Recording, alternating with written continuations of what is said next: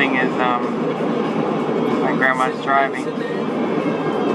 Yeah, I zoomed in, but the craters are kind of getting messed up, and the focus is kind of getting messed up because there's trees um, coming through in the view of the moon. Here's the bridge. Oh, okay. The right of this bridge is actually a bald eagle nest. But it's like two miles away. You're not going to be able to see it. It's like way in the distance.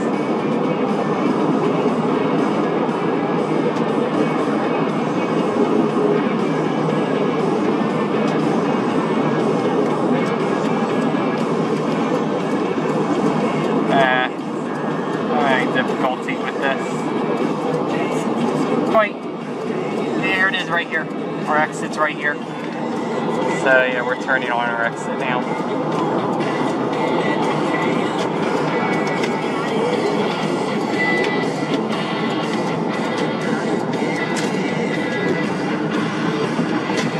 Alright.